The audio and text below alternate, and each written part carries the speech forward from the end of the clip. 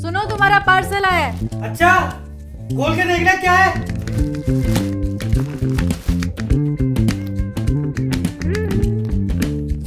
क्या बात है आज तो मेरे लिए सरप्राइज़ सरप्राइज़ अरे आया क्या है ये बताओ।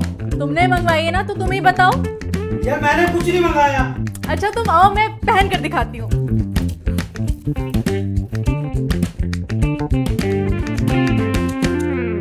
किसके लिए मंगवाई है तुमने? ये मेरे साइज़ की तो है नहीं। अरे मुझे क्या पता है यार। कोई गलती से दे गया होगा यहाँ पे। हाँ गलती से तुम्हारा नाम लिख करके दे गया है ना? यार देखो सुबह सुबह मेरा दिमाग मत खराब करो। अपने जाके काम करो और लड़ाई के बहाने मत हाँ जी भाभी जी नमस्ते। नमस्ते। अच्छा सुनो वो तुम्हारे ऑफ़िस में एक सुंदर सी हेल्दी सी लड़की है ना? पर भाभी जी आप क्यों पूछ रहे हो? अरे वो मैंने एक ड्रेस मंगवाई थी। वो ओवर साइज़ आ गई तो मैं सोच रही थी किसको दूँ? तो तुम्हें गिफ्ट कर दो ना। कहो तो मैं इनके हाथ भिजवा देती हूँ। हाँ हाँ भाभी जी है तो। अच्छा उसका नाम क्या है? सायशा।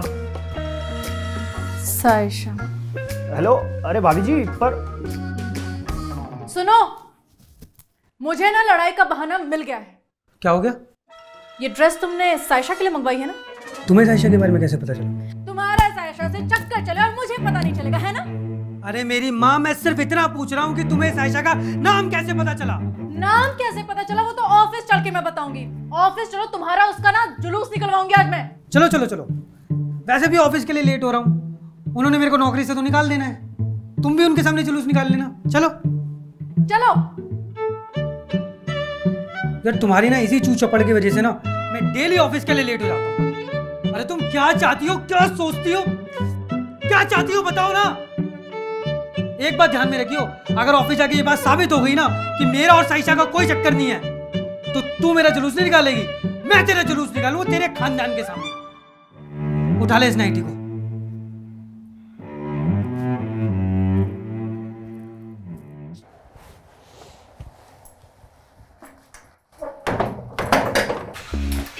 वो मैम, मैं थोड़ी देर पहले एक पार्सल देके गया था ना, वो एक्चुअली मैं गलती से किसी और का पार्सल दे गया।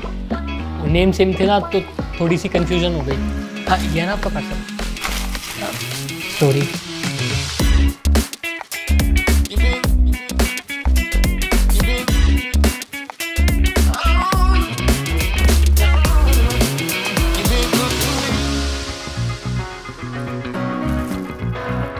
अब इसमें क्या है? अपने आप खोल के देख ले।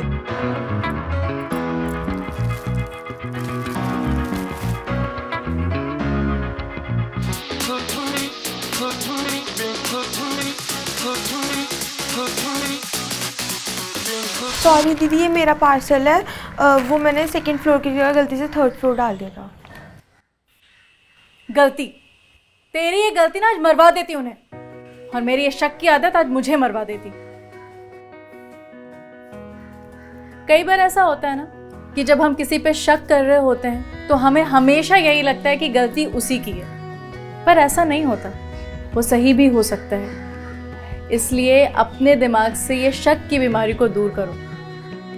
बिना रीज़न बिना किसी प्रूफ के प्लीज़ शक करना बंद करें।